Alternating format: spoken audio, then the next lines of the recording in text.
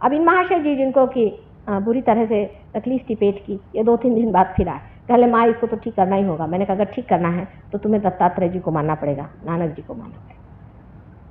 वो कहा अच्छा जो भी कहोगी वो मानूँगा फिर मैंने उनसे कहा कि, अब तुम प्रार्थना करो नानक जी से कि मुझे क्षमा करें। मोहम्मद साहब से भी प्रार्थना करो कि मुझे क्षमा करें और उसके बाद उनका कैंसर भी ठीक आपको आश्चर्य होगा कि आजकल इतनी संस्थाएँ, पॉलिटिकल भी, राजनैतिक आदि बन जाती हैं। जिसमें लोग ये सिखाते हैं कि इनके धर्मगुरु खराब हैं, उनके धर्मगुरु खराब वास्तविकता यह है कि इनके जितने भी फॉलोअर्स हैं और जो डिसाइपल्स हैं, जो अपने एक धर्म के कहते हैं मुसलमान उतने ही बुरे हैं जितने हिंदू। हिंदू उतने ही बुरे हैं जितने ईसाई। और ईसाई उतने बुरे हैं जितने और धर्म के लोग। इनके जितने भी डिसाइपल्स हैं, इन्होंने अपने गुरु को पहचाना नहीं और उनके कहने के अनुसार बिल्कुल नहीं चला। इसका एक उदाहरण मैं आपसे दे सकती हूँ कि समझ लीजिए कि ईसाई लोग ईसा मसीह ने अगर कोई बात खास कर कही होगी तो ये कि तुम लोग किसी भी मृत चीज़ के पीछे में मत और भूत, पिशाच आदि चीज़ों के पीछे में तो बिल्कुल नहीं जाना। किसी भी तरह से आपको चाहिए कि आप भूत, पिशाच आदि जो कुछ डेड है, उसे दूर रहें। इतनी खोल के बात मेरे ख्याल से जितनी ईसा मसीह ने बताई है, सिर्फ़ नानक साहब ने बताई। इतनी खोल के बात बताने पर भी आप किसी भी ईसाई धर्म को जानने वाले या धर्म को पालन करने वाले या किसी भी राष्ट्र में जाके देखें तो आपको आश्चर्य होगा। लंदन में जहाँ मैं रहती हूँ। हर एक चर्च के अंदर में नीचे मुर्दे गाड़े पड़े। आप वहाँ पाँव रखे तो आपके पैर चटके खाते। हर एक चर्च के अंदर, मंदिर के अंदर उन्होंने मुर्दो गाड़ के रखे। जिस चीज़ को बिल्कुल मना किया गया था, उसी को बराबर ये लोग करते। अब आप हिंदुओं की अकल देखिए। हिंदुओं की अकल उससे भी बढ़ के हिंदुओं के लिए बताया गया था कि सर्वधर्म एक ही है। इतना नहीं तो इतना भी बताया गया था कि तुम्हारे अंदर, सबके अंदर एक ही आत्मा का वास है। एक ही परमेश्वर का प्रतिबिंब जो आत्मा है, सबके अंदर एक आत्मा का वास है। अभी जाति पाति लेकर के झगड़ा करने वाले हिंदुओं से बढ़ तो कोई जब सबके ही अंदर एक ही आत्मा का वास है, और जब ये भी बताया गया कि तुम्हारा पुनर्जन्म होता है, तब आज आप हिंदू हैं तो कल मुसलमान होंगे। कल मुसलमान है तो परसों ईसाई होंगे। नहीं तो आप कल चमार भी हो सकते हैं, और नहीं तो आप और भी निम्न श्रेणी के हो सकते हैं। बड़े अपने को बड़े बड़े कहने वाले लोग, जो कि अपने को बहुत सोचते हैं कि हम बड़े भारी हिंदू हैं। उनका व्यवहार ऐसा है कि चमारों से भी बदतर, उनसे शूद्रों से भी शूद्र, अति शूद्रों जैसे वो लोग आप देखते हैं जो मंदिरों में बैठ करके वहाँ दक्षिणा वगैरह लेते हैं। उनके बारे में आप अगर देखें तो आपको विश्वास नहीं होगा कि इनका और परमेश्वर का कहीं संबंध भी है कि ये परमेश्वर के दुश्मन यहाँ बैठे मैं वृंदावन गई थी। वृंदावन में और जब मैंने देखा तो मुझे बड़ा आश्चर्य हुआ। कि जितने कि जितने वहाँ पंडे बैठे हुए हैं, सारे राक्षस हैं, राक्षस। और राक्षस ही नहीं है, सारे कंस के अनुचर हैं। वो कृष्ण के सामने बैठ करके कृष्ण की बदनामी कर रहे हैं। इतना नहीं, जो जितने भी आते हैं, उनके अंदर भूत भरा है और सबका सर्वनाश कर रहे हैं। उस, उन मंदिरों में से और उन सुंदर जगहों में से कृष्ण स्वयं उठ गए हैं। वो वहाँ रहना ही नहीं चाहते। ऐसी गंदी जगह और आप आँखों से देखते हैं कि आपको रात दिन लूट रहे हैं। आपके साथ इतनी जाती कर रहे हैं। आपको इतना झूठ बता रहे हैं। गांजा और क्या क्या ये चीज़ें होती हैं, वहाँ बेचते हैं। औरतों को बेचते हैं, जेवर छुड़ाते हैं। कोई चीज़ उन्होंने छोड़ी नहीं तो भी हम उनको महागुरु समझ करके सब उनके चरणों में चले जाते आपने ये सब काम किए, लेकिन आपके बच्चे काम नहीं करने वाले। इसका दुष्परिणाम एक ही होने वाला है। वो दुष्परिणाम ये है कि आपके बच्चे कहेंगे कि ये परमात्मा परमात्मा कोई चीज़ नहीं, ये सब झूठ बात है, ये एक ढकोसला इसका परिणाम अनेक देशों में हुआ है। जैसे हमारे एक शिष्य हैं और वो अल्जीरिया के रहने वाले मुसलमान हैं। वो जब लंदन आए, लंदन में वो हमारे पास आए तो उनका कि माँ, मेरा तो विश्वास ही नहीं भगवान। हमारे यहाँ जितने यंग लोग हैं जो पढ़े लिखे हैं, डॉक्टर्स हैं, आर्किटेक्ट्स हैं, वकील हैं, उनका कोई विश्वास परमात्मा पे नहीं। वो कहते हैं, ये सब फेनेटिसिज्म है, सब झूठ है, ये पैसा कमाने के धंधे और ये सारी संस्था ही बिल्कुल गलत है। उसके बाद जैसा कि सहयोग का एक बड़ा भारी वरदान रहता है, वो एकदम से पार होगा पार होने के बाद वो सहयोग में जम गए। उन्होंने 500 लड़कों को पार करा और उनका परमेश्वर पर विश्वास बिल्कुल दृढ़ करा दिया।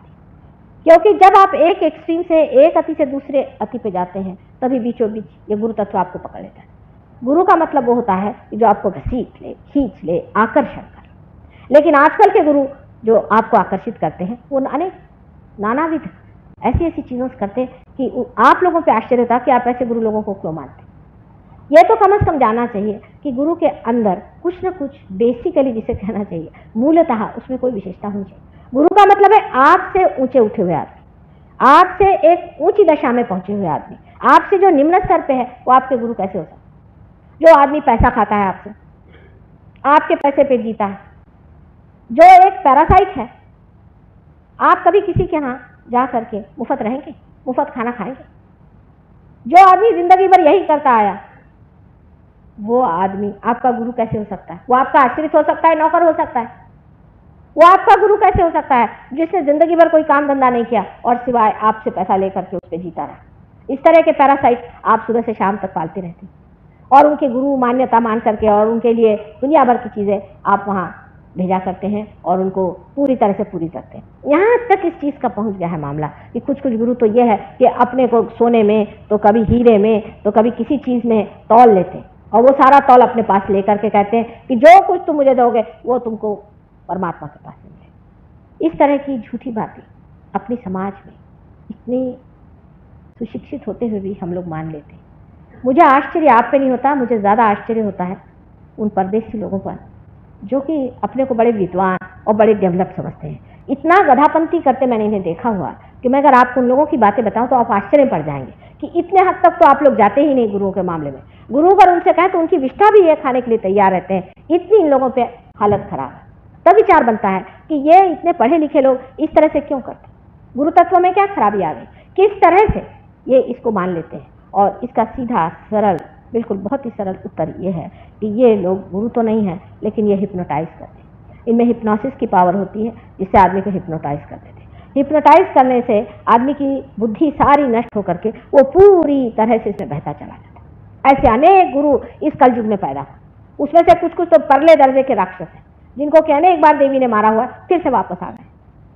और ये राक्षस लोग, सारी राक्षसी वृत्तियाँ, सारी अनैतिकता, हर तरह की चीज़ आपको सिखाते हैं और आप मुँह बाहे देखते रहते हैं कि क्या मेरे लिए प्रचंड पंडित, प्रकांड बिल्कुल वेदांत सुना रहे गुरु के जो गुण हैं, उसमें से पहला गुण यह है कि वो आपके पैसे और आपके धन को ठोकरों पे रखता है। उसके आपके कोई चीज़ की उसको परवाह नहीं, आप उसको बाँध नहीं सकते। वो अपना लहर से चलता है। उसका मन हो तो आपसे बात करेगा, नहीं तो नहीं। आपके आगे पीछे दौड़ने वाला वो नहीं, क्योंकि मैं आपकी माँ हूँ, मैं आपको समझाती हूँ। और मैं आपसे समझाती हूँ कि बेटे, अपने अंदर के गुरु को जानो, अपने रुख पहचानो लेकिन जो जो मुझे मिले हैं बड़े पहुँचे, वो तो कहते हैं कि इन गधों को पचासों गालियाँ सुनाते माँ, तुम क्यों रियलाइजेशन दे इनको मरने दो थोड़े देर इनको ये होने दो। उनके तो लुत्ती इतनी अलग है। हाथ में वो लोग एक एक बड़ा बड़ा डंडा, नहीं तो चिमटा लेके बैठते और या तो पत्थर लेके बैठते कोई आदमी उनके पास आए तो उसको पत्थरों से मांगते हैं, भगो यहाँ से, यहाँ कुछ नहीं मिला माँ की दृष्टि और होती है और गुरु की दृष्टि और होती है। और माँ को गुरु जब बनना पड़ता है तो बड़ी परेशानी की बात है। हृदय तो इतना भरा रहता है करुणा से और इतना साद्र हृदय रहता है। ये निर्वाज बिल्कुल जो प्यार बहा जा रहा है, वो देने के लिए माँ इतनी तड़पती रहती है और उधर गुरुता की वजह से आपके साथ थोड़ा सा डिसिप्लिन भी करना पड़ता है। आपको बताना भी पड़ता है कि बेटा ये गलत बात है। वो कहते भी तकलीफ़ होती है पर करना ही पड़ता है। ये गुरु तत्व आपके अंदर है। इसका आपने अनेक बार अपमान किया हुआ है। आपके अंदर बसा हुआ है। अब आपको आश्चर्य होगा कि साधारण मनुष्य में भी ये गुरु तत्व किस तरह से कार्यान्वित होता है। जैसे कि आप किसी के घर खाना खाने जाए। अगर आप अच्छे आदमी हैं तो। और अगर आदमी वो दुष्ट प्रकृति का हो या खराब प्रकृति का हो, आप वो खाना पचा नहीं सकते आपके एकदम उलट जाएगा। आप घर आएँगे कहेंगे, बाबा रे बाबा, ऐसा पता नहीं क्या था, वहाँ अलग जी मचलने लग गया। कभी कभी तो यह होता है, किसी आदमी को देखो और चक्कर आने लग जाता है कि पता नहीं ये आदमी है इसी प्रकार एक दिन हम कहीं खाना खाने गए थे तो बहुत ही वो शरीफ आदमी लग रहे थे, उनकी बीवी थी, तीन बच्चे थे, बड़े शरीफ कर बन के घुमा करते थे। और जाते साथ मेरी हालत ख़राब हो गई मैं साथ से कहा चलो, अब घर मेरे बस का नहीं। कहा भैया, ऐसा कैसे अब तुम्हें तुम तो चीफ गेस्ट हो, यहाँ पर मैंने कहा, चाहे जो भी हो, मेरा हाल ख़राब हो घर चलिए आप मेरे बस का नहीं, यहाँ तो कुछ बड़ी बड़ी आतंक की बात चल रही। जब मैं घर पर चली आई, उसके बाद आठ दिन में एक छोटी सी लड़की, हमारी लड़की साथ पढ़ती थी, वो आई। तो मैंने उनसे पूछा, उसका भी नाम वही था जो महाशय का था। तो मैंने कहा, क्या तुम इन्हें जानती हो? कहले वो तो मेरे पिता है। मैंने कहा, तुम्हारे पिता है? कि तुम्हारी ऐसी दशा को कहले उन्होंने मेरी माँ को छोड़ दिया। मेरी माँ की सारी प्रॉपर्टी ले ली और अब इस औरत को रखा हुआ है घर में और ये तीन बच्चे जो हैं वो ऐसे ही उनके आए। और उसके आँख से एकदम आँसू छल चला पड़े। कहले मेरी माँ बहुत सरल स्वभाव की थी, इतनी रोई, इतना छीका पर इन्होंने उसे छोड़ दिया और इस औरत को अपने पास रख लिया। अब देखिए कि उस घर में जो दुख था, उस घर में जो तकलीफ़ उस औरत की थी, उससे सारा वातावरण बिल्कुल दूषित था और मैं वहाँ उनकी सारा जो आमोद प्रमोद हो रहा था, जो बिल्कुल हिस्सा नहीं ले पा रही थी। मेरा जी खुद इतना दुखी हो रहा था और आँखों से आँसू बार बार टपक पड़े। मेरी समझ नहीं आ रहा था कि इस वातावरण में ऐसा कौन सा दुख है? ऐसी कौन सा दुखी जीव है जो कि मेरी आत्मा को अंदर से खींच रहा है? और ये बात आप समझ लीजिए कि आपके भी गुरु तत्व में है। आप किसी के घर जाते हैं तो आप देखते हैं कि आपको उनका अन्न पसंद नहीं आता ये सब गुरु तत्व आपके अंदर है, लेकिन आप उसे जागरूक नहीं रखते। अब गुरु तत्व को मारने के तरीके क्या है, वो मैं आपसे बताऊँ। मनुष्य किस तरह से अपने गुरु तत्व को मारते रहता है? किसी को बुरा नहीं लगना चाहिए, क्योंकि मैंने कहा है, मैं माँ हूँ, जो सही बात है मैं आपको बताऊँगी और मुझे बतानी पड़ेगी उसमें बुरा मानने की कोई भी बात नहीं। सब लोग समझ से इस बात को समझ लें कि हम अपने गुरु तत्व को हर समय खराब करते रहते हैं। और किस तरह से हम अपने गुरु तत्व को खराब करते हैं, वो देख लीजिए एक तो गुरु तत्व में हमारे अंदर जो चेतना है, जिसे हम अवेयरनेस कहते हैं, इसको संभालने वाला हमारा लिवर है, जिसे यकृत कहते हैं। जब तक हमारा यकृत ठीक रहेगा, हमारी अवेयरनेस चेतना ठीक रहती और जैसे ही हमारा यकृत खराब हो जाता है, हमारी चेतना मचलने लग जाती है। आपने देखा होगा, जिसे पित्त होता है, उस आदमी ने देखा होगा कि जब भी पित्त वाला आदमी जरा सा कुछ तला हुई चीज़ खा ले, उसको फिर से वॉमिटिंग शुरू हो जाता है। पेट के अंदर आपकी अवेयरनेस को पोषित करने वाला ये यकृत है, और इसलिए यकृत का ठीक रखना बहुत ज़रूरी है। अब यकृत क्या करता है? यकृत जो भी कुछ, ये लिवर जो है, ये जो भी कुछ हम जहर खाते हैं, जो भी हमारे अंदर गलती से चला जाता है, उसको अलग कर देता है, उसको एनालाइज कर लेता है। और जो कुछ भी जहर है, उसको खून के द्वारा, वो खून में लौटा देता है। जिसको कहना sorting out of the poison वो सारा काम लिवर करते रहता है। अब इसका बिगड़ना बहुत देर से पता चलता है। धीरे धीरे धीरे धीरे ये काम होते रहता है। पर कोई कोई ऐसी चीज़ें हैं, जिनके कारण ये यकृत या ये जो लिवर है हमारे पेट के अंदर राइट साइड में, ये बहुत ही जल्दी खराब हो जाता है। सबसे बड़ी चीज़ जो यकृत के विरोध में है, वो है शराब। जितने भी गुरु आज तक संसार में हो गए चाहे वो इब्राहम हो चाहे वो मोजिस हो चाहे वो लाउत्से हो और चाहे वो सॉक्रेटिस हो ये सारे गुरु तत्व हैं। सारे ही गुरु तत्वों ने अवतार संसार में लिए थे वो सब लोग ये गुरु हैं। इसमें से कोई भी गुरु हो सबने कहा है कि शराब पीना मानव धर्म के विरोध में। क्योंकि अपने दस धर्म पेट में है। उस धर, दस धर्मों पे आक्रमण होता है जबकि हमारी चेतना पे आक्रमण होता है। अगर मनुष्य की चेतना ही कम हो जाए, जब वो चेतना के ही विरोध में बैठती है चीज़ तो वो हमारे लिए गलत है। लेकिन अभी, कुछ दिन पहले, हमारे एक शिष्य थे, जिन्होंने सहयोग में ही इस पर बड़ा काम किया, और उनको अब इस पर डॉक्टरेट मिली हुई है लंदन में। मॉरिशस के रहने वाले, उनका नाम रजिस है।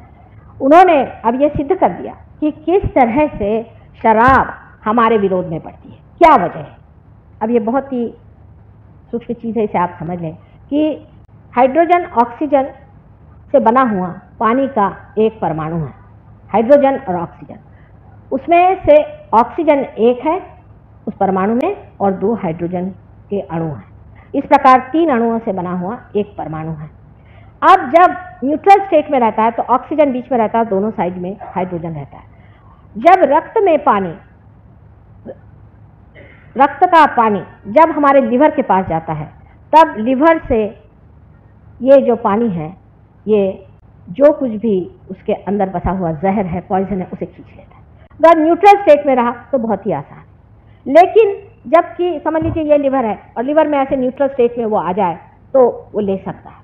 लेकिन अगर, समझ लीजिए, इस तरह से हो जाए तो कुछ भी रिसीव नहीं कर पाता। जब आप शराब पीते हैं तो शराब के फर्मेंटेशन के प्रेशर की वजह से ऑक्सीजन नीचे आ जाता है और हाइड्रोजन ऐसा आ जाता है, और ये कुछ भी रिसेप्शन नहीं हो पाता, कुछ भी ले नहीं पाता, कुछ भी स्वीकार नहीं कर पाता। इसके कारण उसके अंदर का जो पॉइजन है, वो वैसे ही बना रहता है। लेकिन आपने देखा होगा कि कोई आदमी शराब पीता है, लेकिन उसे टेम्परेचर नहीं आता। अगर आदमी शराब पीने से उसे टेम्परेचर नहीं आता, उसके अंदर की जो हीट है, वो सिर्फ़ लिवर में या किसी न किसी ऑर्गन में जमा होती रहती है। लेकिन जो पानी है, जो कि हमारे खून में बहुत ही ज़रूरी चीज़ है, वो पानी इस तरह से हो जाने की वजह से वो उसको शोषण नहीं कर पाता। और हर एक जितने भी ऑर्गन्स हमारे बॉडी के हैं, पहले तो लिवर चौपट होता है, उसके बाद हर एक ऑर्गन धीरे धीरे वो सब में गर्मी आने लग जाती है और ऐसा आदमी गर्मी से झुलसते जाता है। लिवर भी यही चीज़ होती है, ऐसा नहीं है। सारे ही ऑर्गन्स में थोड़ा थोड़ा होता है। अब यही बात बढ़ करके बहुत बड़ी हालत में कैंसर में होती है। कैंसर में भी ऑक्सीजन और हाइड्रोजन दोनों इस तरह से हो जाते हैं, बहुत ही इस तरह से हो जाते हैं, जिससे रिसेप्शन नहीं होता है। और इसीलिए आपने देखा कि कैंसर के पेशेंट्स को जब तक बिल्कुल बुरी हालत ना हो जाए, बुखार नहीं आता। मुँह पे चट्टे आएँगे, काले चट्टे हो जाएँगे, बदन पे चट्टे आएँगे तरह तरह की चीज़ें होंगी। गर्मी बदन में लगेगी, बहुत ज़्यादा गर्मी लगेगी, लेकिन उसको टेम्परेचर नहीं। अब ये बात जब उसने पता लगाई, आप सोचिए कि इंग्लैंड यूनिवर्सिटी ने उसे डॉक्टरेट दे दी। अब ये बात निर्विवाद है, चाहे आप बुरा माने, चाहे भला माने, कि शराब पीने से आपकी चेतना तो कम होती है, लेकिन आपके अंदर का पॉइजन बना रहता है। और दूसरी बात उससे ये होती है कि आपकी जो आर्टरीज है आर्टरीज का भी पॉइजन आप खींच नहीं पाते और क्योंकि इस तरह से हाइड्रोजन का जो इस तरह से झुकाव हो जाता है, उसके कारण एक हार्डनिंग जिसे कहते हैं, वो आर्टरीज में हो जाती है। और वो हार्डनिंग जो हो जाती है, इसकी वजह से आर्टरीज जो है, वो शराबी आदमी की एकदम फ्लेक्सिबल नहीं रहती। इसलिए उसका खून नहीं सरकता और उसको ऐसी ऐसी बीमारियाँ होती हैं, जैसे कि हार्ट और हार्ट के अलावा जिसे कहना चाहिए गैंग्रीन आदि जिसमें कि खून जाकर एक जगह जम जाए और ये सड़ जाए, फिर ये सड़ जाए। मैंने इतनी दुर्दशा करने की क्या ज़रूरत है? वास्तविकता, शराब चीज़ जो है फर्मेंटेड शराब, जिसे कहते हैं। एक तो होता है कि वाइन वो तो बहुत अच्छी चीज़ है कि जिसमें कि फर्मेंटेशन नहीं हुआ, जो कि सिर्फ़ रस हो, द्राक्ष का, वो तो वाइन हो पर जो जिसको हम लोग वाइन समझते हैं, वो जो अल्कोहलिक वाइन होता है, वो जो शराब होती है, उस शराब को परमात्मा ने इसलिए बनाया है अल्कोहल को कि कोई चीज़ को पॉलिश करने के लिए। हर एक चीज़ को पॉलिश करना हो, जैसे आपको डायमंड्स उसको पॉलिश करना तो आप जिन से करिए। कोई चीज़ को पॉलिश करना तो स्पिरिट से करिए। ये पॉलिश है। और यही पॉलिश जा करके हमारे आर्टिस्ट में जब जमते जाता है तो हार्डनिंग ऑफ़ द आर्टिस्ट तो होगी। भगवान ने कोई पीने के लिए शराब नहीं बनाई थी, लेकिन मनुष्य का दिमाग जो है बंदर के जैसा है। उसको समझ में नहीं आता है कि कहाँ क्या चीज़ करनी चाहिए। अब वो जाकर के ज़रूर शराब पिएगी। शराब पीने को उसको कहीं कहा नहीं था। पता नहीं उसको कहाँ से एक को मिल गया, उसने अपना शराब लेना शुरू कर दिया, शराब पे शराब पीने लग गया, उसकी जो आर्टिस्ट थी वो थिकनिंग होने लग गई, अब उसमें मज़ा इसलिए आता है कि आदमी की जो चेतना है वही गुम हो जाए। मनुष्य को यह इसलिए अच्छा लगता है कि उसकी चेतना गुम हो जाए, क्योंकि वो अपने को देख नहीं पाता। वो अपने को समझ नहीं पाता, असलियत से भागता है। वो असत्य पे रहना चाहता है। सत्य क्योंकि उसको लगता बड़ा भयंकर है, भयानक है। ऐसी बात नहीं।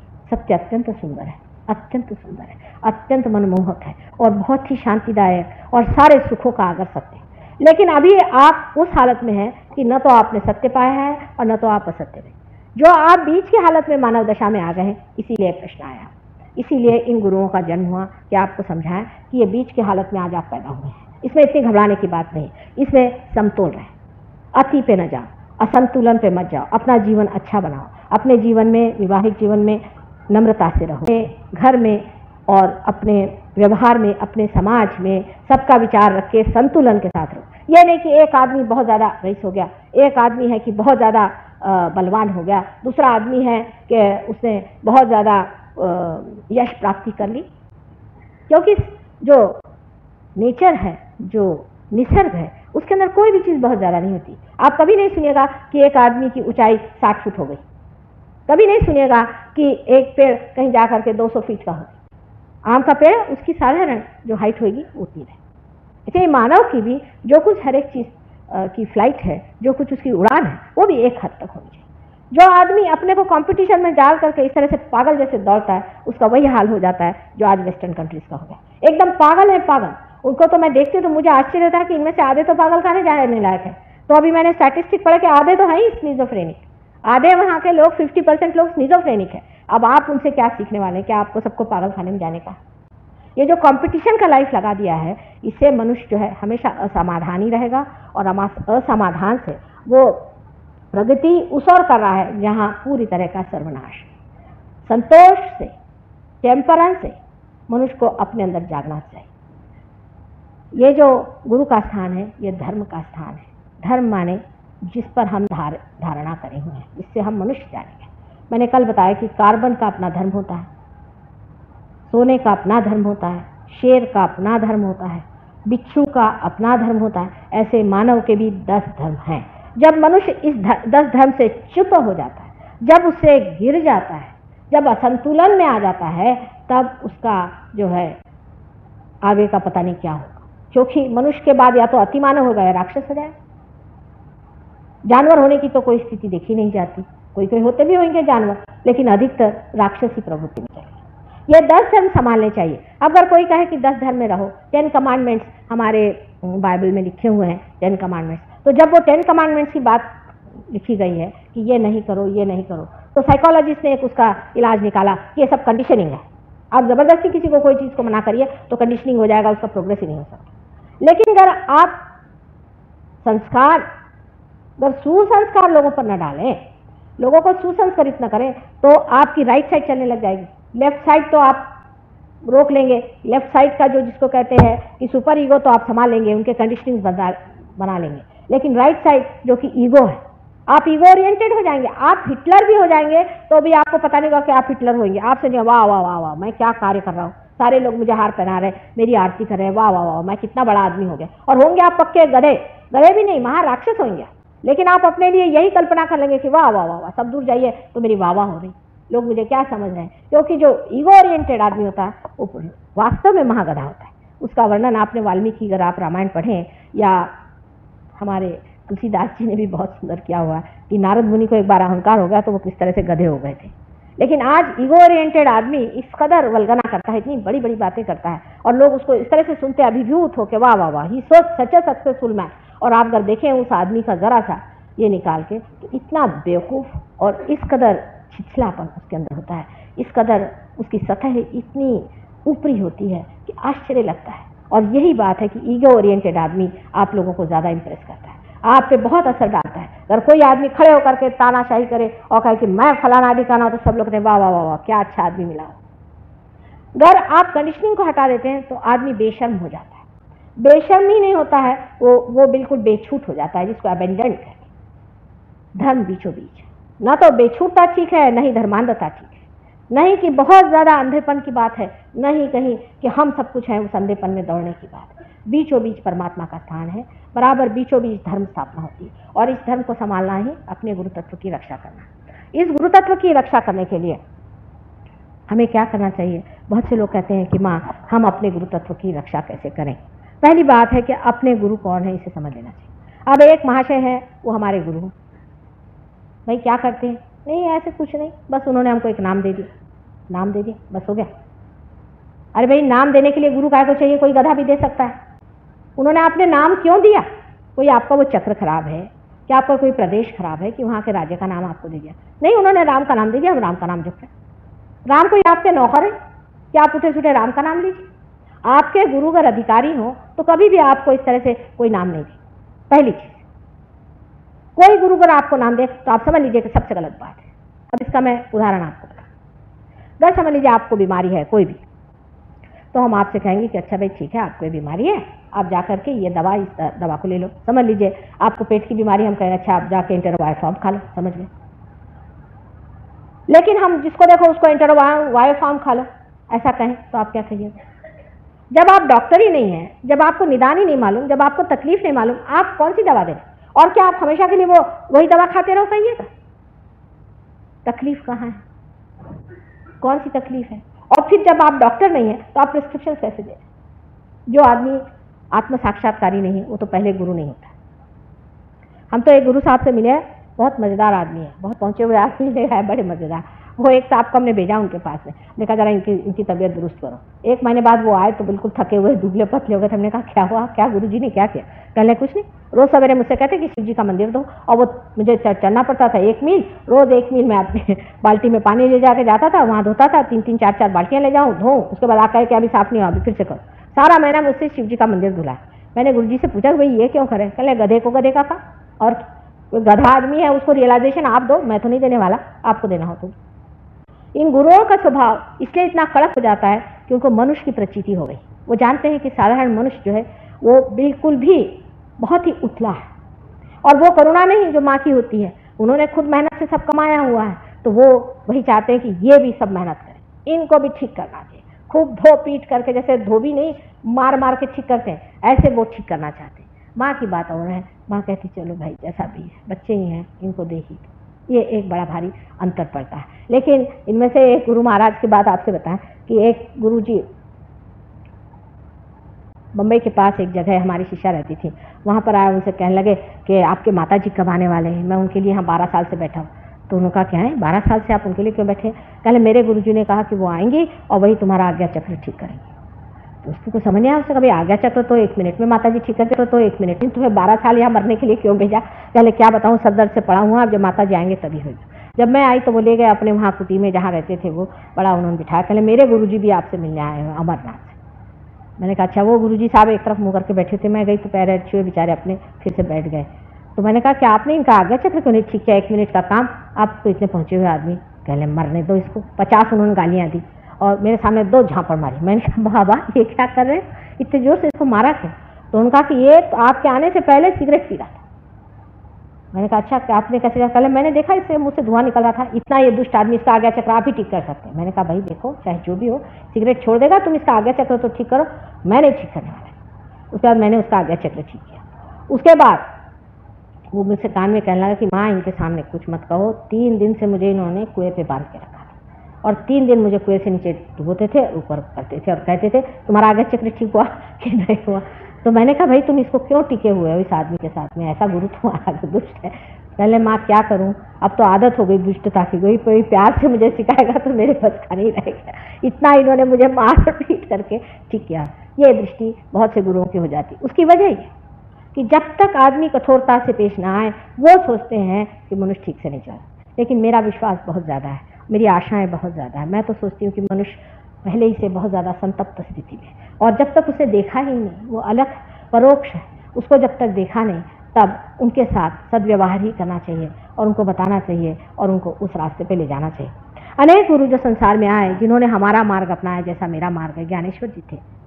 या हमारे यहाँ तुकाराम जी हो गए, हमारे यहाँ नामदेव हो गए, वैसे ही नानक जी हो गए, कबीरदास जी हो गए। इन लोगों ने संसार में रह करके लोगों की सेवा की और उनको धर्म सिखाया। उन सब के साथ बहुत जाती सबको इस तरह से सताया गया, मारा गया, पीटा गया, उनको खाने को नहीं, उनको भूखो रखा। ज्ञानेश्वर जी की तो बात सुनती हूँ तो मुझे लगता है कि कैसे लोग इसको